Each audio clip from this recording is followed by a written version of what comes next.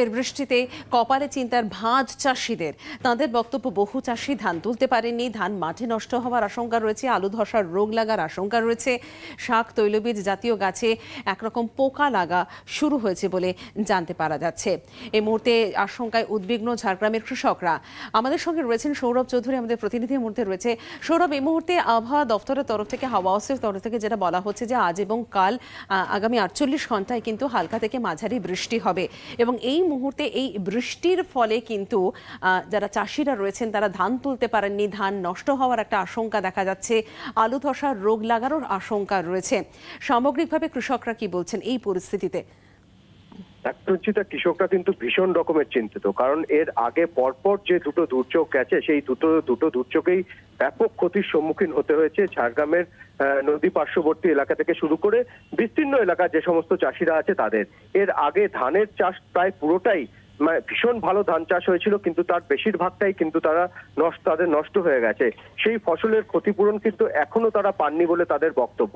তারই মধ্যে গতকাল থেকে যে বৃষ্টি শুরু হয়েছে গতকাল চারটা থেকে ঝাড়গ্রাম জেলায় বৃষ্টি শুরু হয়েছিল সেই বৃষ্টি প্রায় সারা রাত হয়েছে। এর ফলে বেশ কিছু জমিতে জল জমে গেছে এবং এর জন্যই আলুর চাষ মূলত লালগড় থেকে শুরু করে বিস্তীর্ণ এলাকায় আলু চাষটা ভালো হয় নদী পার্শ্ববর্তী এলাকায় গোপীবল্লভপুর এলাকায় তৈলবীজ থেকে শুরু করে বাদাম এই চাষটা হয়। এই সমস্ত চাষে কিন্তু ব্যাপক ক্ষতির সম্ভাবনা আছে। ফলে বারবার এই প্রাকৃতিক দুর্যোগে যেভাবে ক্ষতির সম্মুখীন হতে হচ্ছে চাষিদের এটাই কিন্তু তারা এই মুহূর্তে বেশি চিন্তিত যদিও এই মুহূর্তে বৃষ্টি কিছুটা থেমেছে।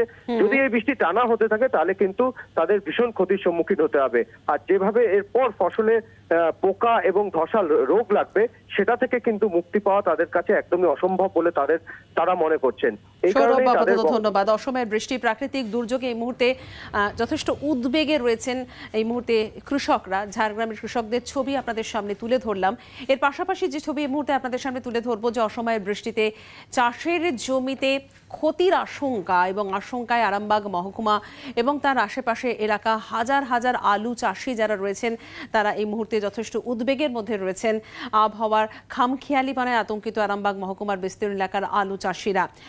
দিব্যেন্দু সরকার প্রতিনিধি আমাদের সঙ্গে রয়েছে। দিব্যেন্দু, গতকাল সন্ধেবেলা থেকে আমরা দেখেছি যে মুষলধারে বৃষ্টি শুরু হয়েছে, শিলাবৃষ্টির পূর্বাভাস রয়েছে।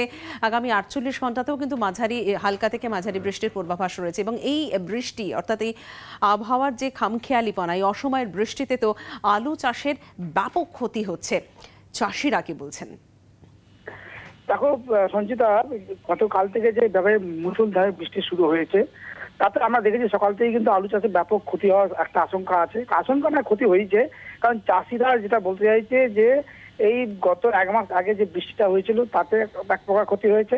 এখন আবার এই বৃষ্টিটা হয়েছে, কারণ মাঝে যে এক মাস বা দিন কুড়ি যে রোদ হয়েছিল তাতে জমি শুকিয়ে গিয়েছিল তারা দুবার করে আলু কিনেছে আলু বীজ কিনে বসিয়েছেন সার কিনেছেন।